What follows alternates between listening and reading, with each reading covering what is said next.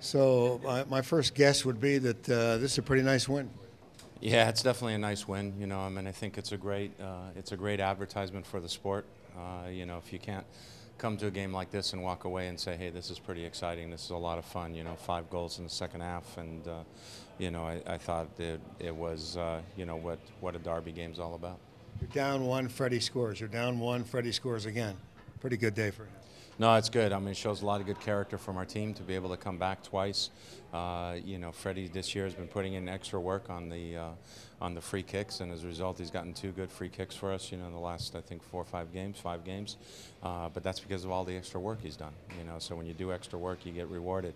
Uh, second goal that he got, uh, you know, was a great cross by Rosales. You know, picked him out. He was unlucky not to get a third uh, off his header.